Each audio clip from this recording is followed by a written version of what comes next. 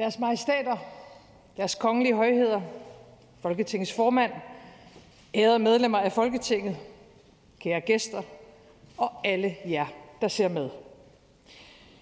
Hendes Majestæt, dronning Margrethe, har bragt monarkiet ind i samtiden og vist os, at fortid og nutid er to sider af samme sag. Nu skal næste generation være med til at lede os ind i fremtiden. Når kongehuset står så stærkt i befolkningen, er det i høj grad hendes majestæt personlige fortjeneste.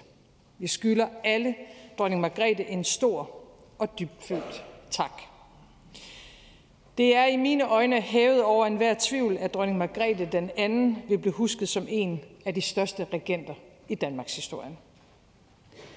Når dronningen træder tilbage, ved vi, hvem der træder frem. Det giver en fortrolighed, en tryghed og en værdighed. Vi har fulgt hans majestæt kong Frederik i 55 år. Vi ved, at kongen har forudsætningerne for at løfte opgaven og ansvaret. Vi ved også, at opgaven er lige så vanskelig, som den er vigtig. En konges rolle i et moderne demokratisk samfund er en svær balancegang i sig selv. Hertil kommer de udfordringer, vi står overfor i Danmark og i verden omkring os. I snart to år har der været krig i Europa. Ukrainernes kamp fortsætter med samme styrke. En kamp for deres egen frihed, men også for vi andres. Vi lever i en usikker tid, i en epoke af historien, der vil definere vores fremtid. Vi har i den grad brug for, at vores konge samler Danmark. I sin tale til dronning Margrethe den andens regeringsjubilæum sagde den daværende kronprins, når tiden kommer, så vil jeg føre skibet videre med det, vi har delt som ballast. Tiden kom, før vi anede det. Mange fremhæver forskellene på dronning Margrethe og kong Frederik. I dag vil jeg hæfte mig ved lighederne. For når man ser efter, har mor og søn mange vigtige ting til fælles. Både dronning Margrethe og kong Frederik har en varm og en gengæld kærlighed til Færøerne og Grønland.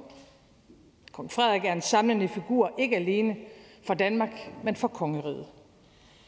Ligesom dronning Margrethe er kong Frederik både ærkedansk og en ægte kosmopolit. At tale flere sprog flydende giver et naturligt udsyn. Vores konge har allerede rejst verden rundt med ministre og erhvervsfolk, knyttet personlige bånd, åbnet døre, der ellers var lukket. Og ikke mindst har kongen, ligesom sin mor, både en dyb pligtfølelse og en evne til at bære pligten med glæde. At være regent er et ensomt værv.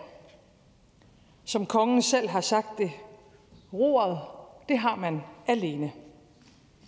Ja, det er vilkåret. Men kongen har heldigvis haft en fremragende lærmester, som endda har tilrettelagt tronskiftet så klogt, at lærmesteren er her endnu. Kongen har desuden en uvurderlig støtte og inspiration i sin hustru, og Danmark har en flittig, begavet og særdeles afholdt dronning Mary. Og i går på Christiansborg Slotsplads. 10.000 vis var mødt frem for at hylde den nye konge og byde det nye kongepar velkommen. Vi kan jo i dag sige, at tronskiftet satte gang i en sand folkevandring. Busser med feststemte mennesker ankom fra hele landet. Hoteller meldte om udsolgt. Jeg tror aldrig før, der har været så tæt med mennesker i det indre København som i går. Det var et fantastisk smukt og håbefuldt syn. Og en meget stærk manifestation af, at danskerne bærer vores kongehus i vores hjerter. Forbundne, forpligtet for kongeriget Danmark. Sådan blev det sagt i går. Kong Frederik nyder en meget stor og bred opbakning i befolkningen. Ikke alene på festdagen, men er jeg sikker på også i hverdagen.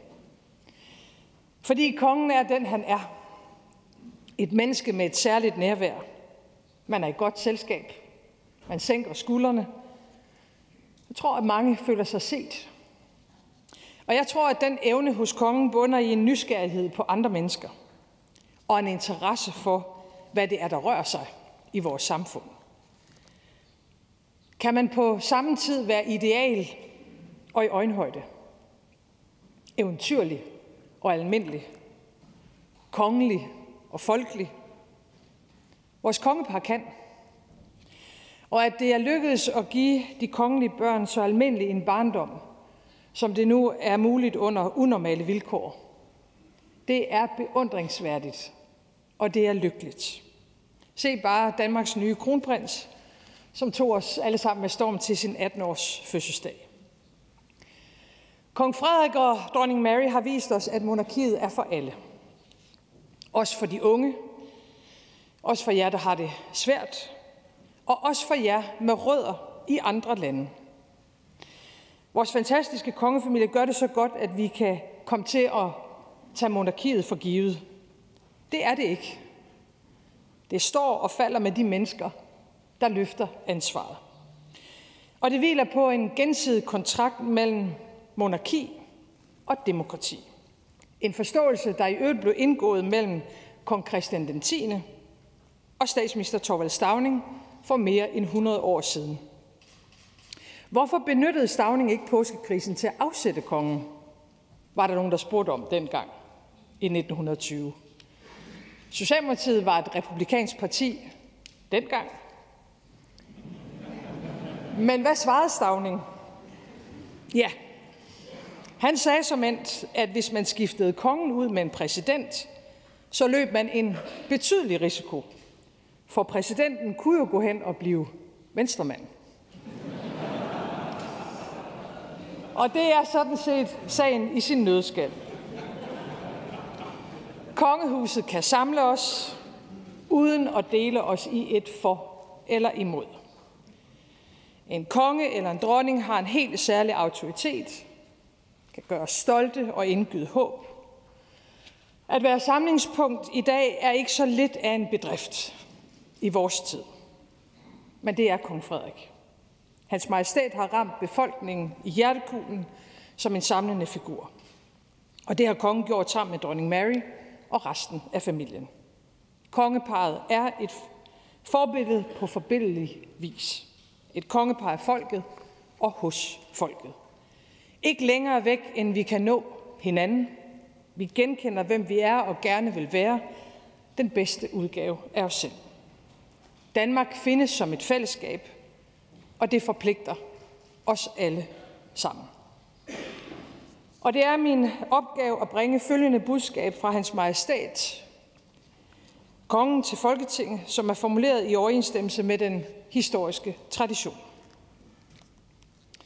Vi, Frederik den 10. af Guds nåde, Danmarks konge, skal herved meddele, at vor kære mor, dronning Margrethe den 2. den 14. januar 2024 i statsrådet har frasagt sig tronen. Med Guds hjælp og folkets kærlighed har dronning Margrethe den 2. gennem sin 52-årige regeringstid alene haft Danmarks bedste som sit mål og lagt alle sine kræfter i en trofast og pligtopfyldende indsats herfor.